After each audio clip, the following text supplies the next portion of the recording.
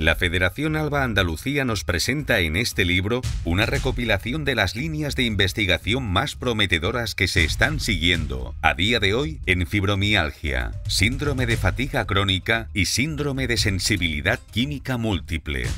Este libro nos sumerge en una comprensión más profunda de unas enfermedades cada vez más presentes en nuestra sociedad y que sin embargo son grandes desconocidas y en ocasiones olvidadas. Ya a la venta en editorialcirculorrojo.com.